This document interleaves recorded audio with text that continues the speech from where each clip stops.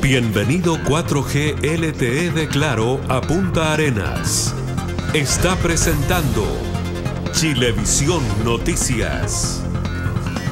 Estamos de regreso, vamos a ir al cine con películas de diversos orígenes. Sí, claro, para los fanáticos de Metallica, Ítalo Basaloca tiene un buen dato. ¿Qué tal, Ítalo? Así es. Hola. Eh, muy bien. Ustedes también se ven muy bien así, andamos en sintonía de color, todo perfecto.